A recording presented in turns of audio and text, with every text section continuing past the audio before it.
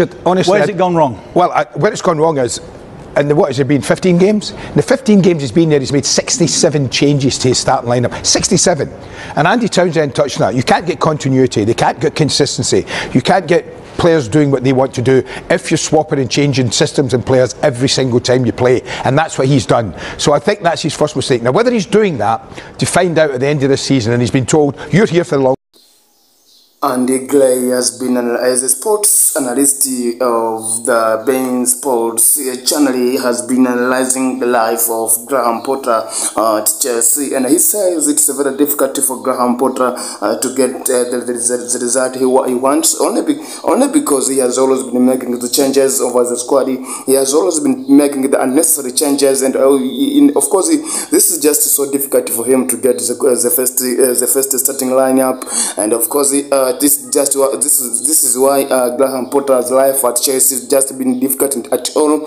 He has always been uh, signing a new players, of course, fantastic and attractive players with high quality. But the way to use those, uh, the way to utilize those players is just very difficult on his side. And he says it's just a time now for him to sit down and discuss the how can he, how can how can he, how can uh, Graham Potter justify and um, structuralize a good uh, form, format for the use of the current signings. Of course, no doubt, uh, Chelsea has a quality players and a fantastic 100